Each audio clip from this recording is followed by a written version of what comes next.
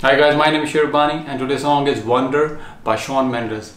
You know who introduced me this kind of music? My 8 years old son called me Kai Shoaib. He actually, you know, introduced me this Charlie Puth, this Shawn Mendes and Justin Bieber stuff. And he's very much sure that it is the best kind of music, you know, ever produced in the world. And I must say, if you're a beginner guitarist, these are the good songs because mostly songs are on four chords, very basic chords, and they are good melodies actually. So this is your best catch if you're a beginner guitarist, you know, master these songs, easy song, then you go for the complex song. For playing this song, you have to have a capo when you put it on your fourth fret. This is one, two, three, four. Once you're done with that, the chords of the songs are C major, very basic chord, D minor, another basic chord, and A minor. But don't get too much happy because F major is coming. If you're at the level when you're afraid of F major, then what I can say that just practice man there is no alternative to practice you know that you can play with the bar as well and also you know this F major you know your first finger actually you know pressing these two strings downward and this one and this one so when I started playing the guitar I did not go for this bar one I went for this one so C major D minor a major and this F major.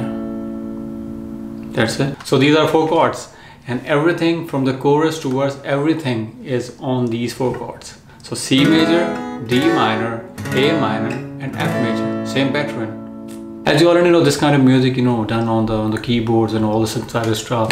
So if you're playing it on the guitar then you create your own feel so we definitely going to match all the you know strumming pattern which is you know which is you know very much with the beat but of course it wouldn't sound like that so you bear with me for that.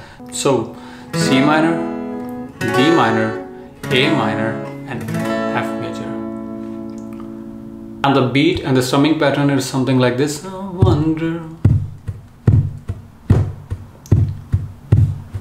So if you match a strum for that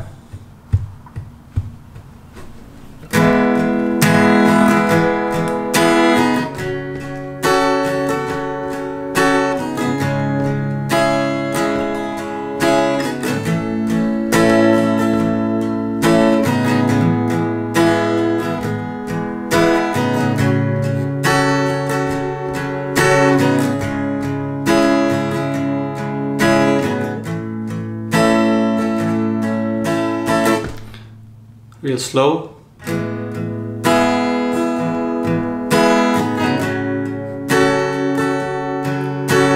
A minor,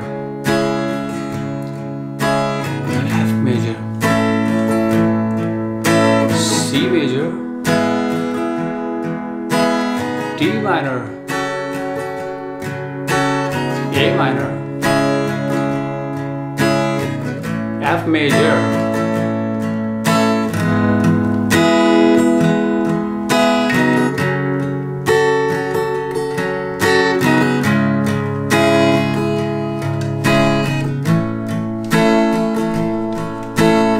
this strumming pattern goes all the way from the verse and the chorus all the complete song all you have to have this you know.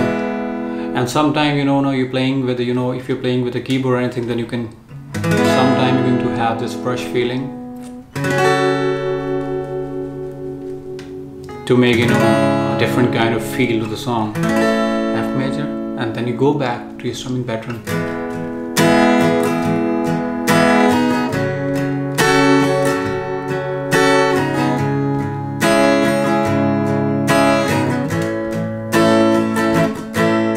thanks for watching guys. See you next time. Till then take care of yourself. And if you're new here you can subscribe to my channel. Just do that right now and also ring the bell. And I'll see you next time. Till then take care of yourself